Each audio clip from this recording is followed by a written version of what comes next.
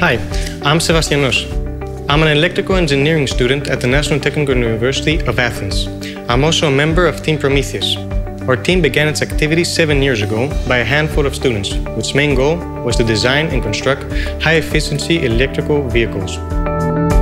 Our team has continuously participated in numerous international fuel efficiency vehicle races.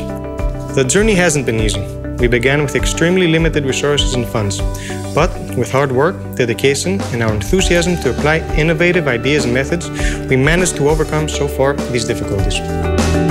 In the last two years, we have been working on our latest accomplishment named Pyrforos number 2, a vehicle constructed solely by our team.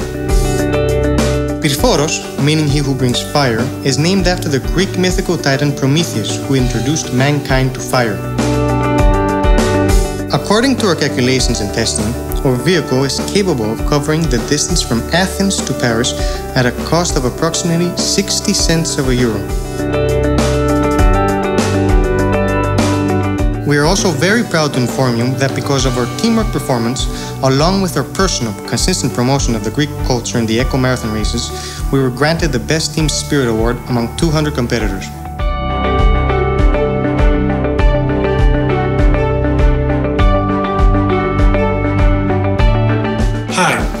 Christos, the manager of Prometheus.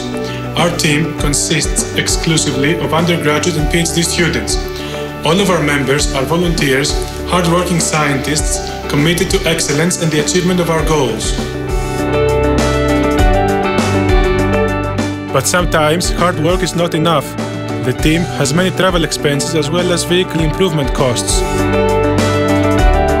Therefore, relying on private funds has become our only option in order to continue our research and development.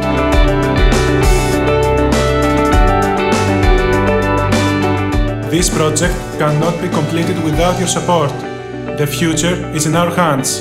Together, we can contribute in creating a healthier planet with polluting-free, inexpensive transportation.